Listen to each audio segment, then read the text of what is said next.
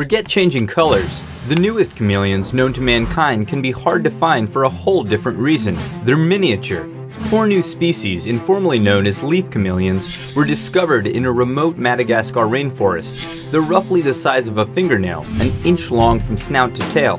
The little creatures don't get the title of smallest reptile. The dwarf gecko found in the British Virgin Islands is tinier, but they're pretty close. Why so small?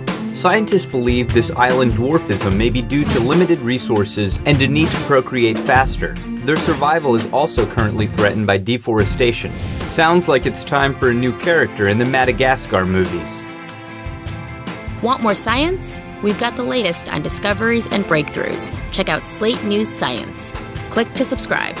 Like us on Facebook at Slate Video, follow us on Twitter at Slate Viral.